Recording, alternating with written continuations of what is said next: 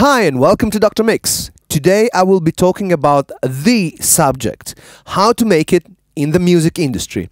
Now, not all of you may know, but on top of being the head of Dr. Mix, I am an artist in my own right and uh, I go by the name of Sunlight Square. I like house music, I like jazz, I like Latin music and soulful music, and I'm lucky enough that I get called around the world to perform gigs and to collaborate with international artists. And all I did is apply the rules that I am about to tell you.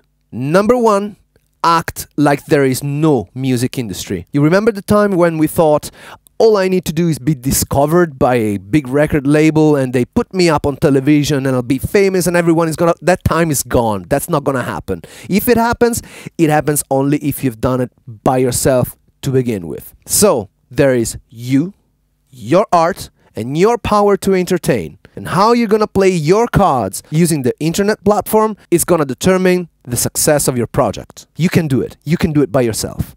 Number two, be original. Today is not the time to be making predictable music. You have to be original. That's your power. That's why people are interested in music because it's original, because it's new. If you want to be inspired by other artists, by all means do it and use that as a way of developing your own style. But just don't try to be mainstream to please people. You don't have to please people. With your music, you only have to please yourself, and you will find along the way people that think like yourself. And they may become your fans. Number three, produce more music. Don't take ages to produce your track, mix your track, master your track, then thinking it all over again and mix it all over again and produce just one track per year. Produce 10 tracks per year it's better just to get it out and stand multiple chances for one of those tracks to stick. Please don't fall for the trap of paralysis from analysis. That will work against you. Release more music, you will get better at it. Number four, tell your story on social media. It's there, it's free why not use it? People want to know your perspective. People want to know why you get up in the morning and make music. Everyone wants to be an artist. People have a natural admiration for human beings who decide to take an artistic path and make music and do something different with their lives. It's also the dream of being a musician that people are interested in. So why don't you share it? Share it with pictures, with photos, with videos, and use the social media to get that content out.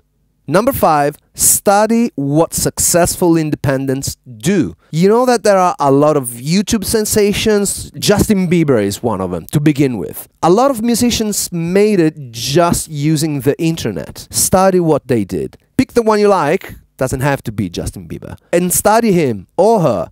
Get the concept of what they've done, do it your own way, and do it about your music. Number six, make videos everybody is lazy. Everyone wants to see content that they don't have to make too much effort to consume. Videos are perfect for it.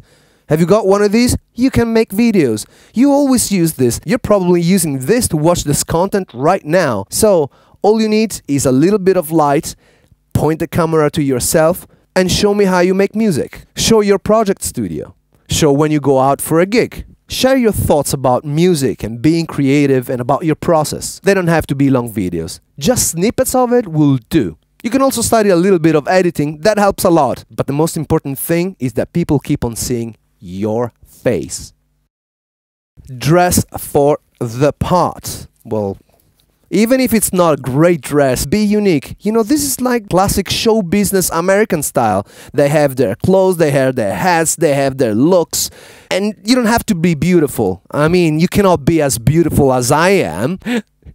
Just be a character. Audiences are interested in people who look different, who behave differently. So do that. Be that. You're not that. Fake it until you become it. Number eight, be consistent.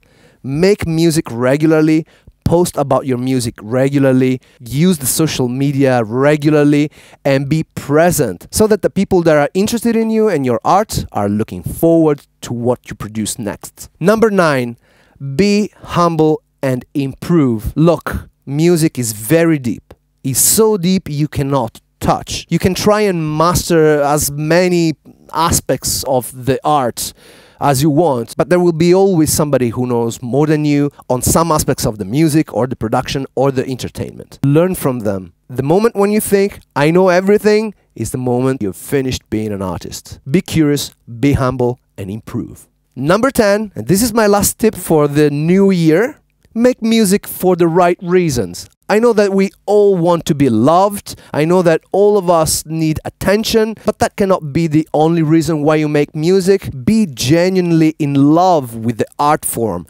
It's one of the few things that gets this humanity better, so you might as well make music for the right reason so that you can do it for a long time. Having said all that, Happy New Year from me and the Dr. Mix team.